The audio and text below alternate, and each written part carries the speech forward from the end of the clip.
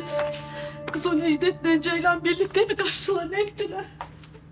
Onlar mı söylediler ki acaba? Anam hindi cinnet geçireceğim. O domuz Sancar Efe sırf biz korkudan cinnet geçirelim diye böyle diyor. Ecel gibi kapıda bekliyor. Yeminle bilerek ediyor.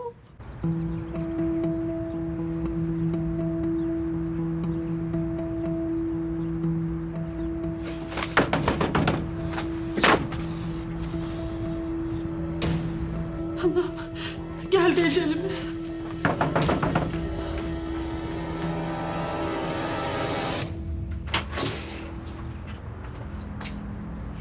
Kızını çağır.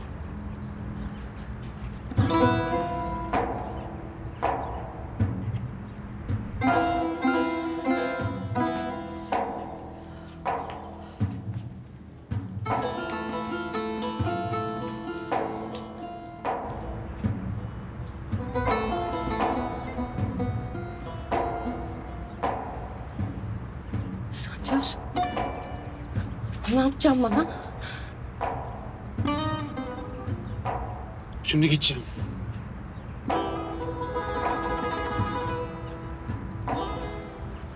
Toprağa gömemediğim evladımın yasını tutacağım.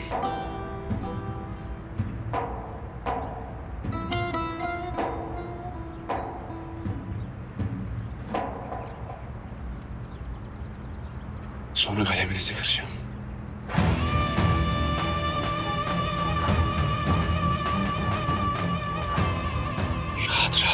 Diye haber verem dedim.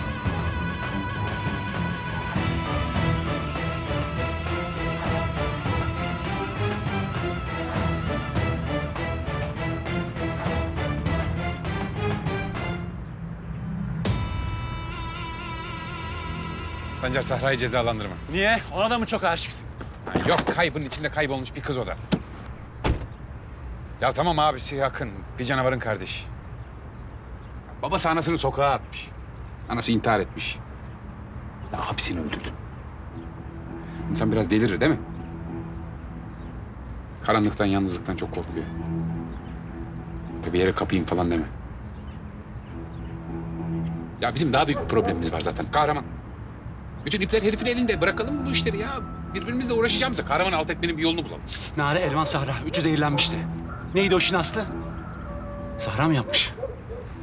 Ya işte Nare'den Akın'ın cesedinin yerini öğrenmek için onu konuştururken... Ben de çok kızdım. Zararsız bir serum vermiş.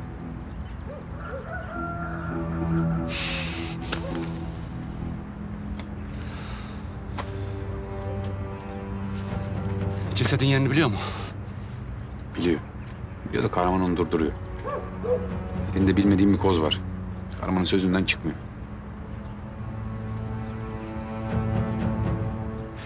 Ya bırak Sahra'yı geldiği yere gitsin. He?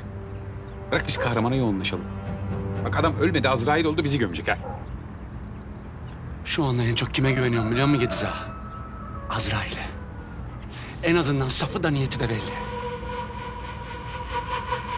Bir de bakalım bir.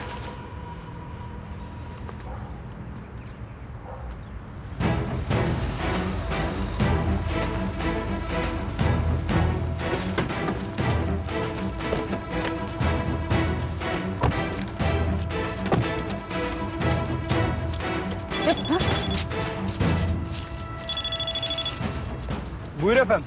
Sahra'yı depoya götürdünüz mü? Evet efendim. Şimdi içeri soktuk. Güzel. Oranın penceresi yok değil mi? Güzel. Işıkları kapatın. Kapıyı da arkasından kilitleyin. Birkaç gece orada kalsın tek başına.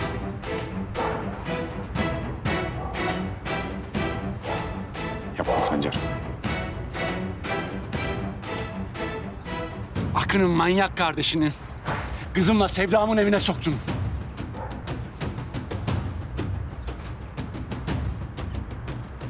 İnsan biraz delirir değil mi?